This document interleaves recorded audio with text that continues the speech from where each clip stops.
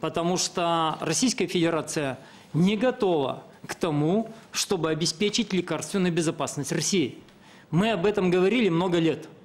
Мы Нет, говорили о том, что Не, не тотальный. Во-первых, он не тотальный, я знаю, что он не тотальный. Если нет Первое, он касается госзакупок, тогда- а не аптечной сети рынка Да. свободного.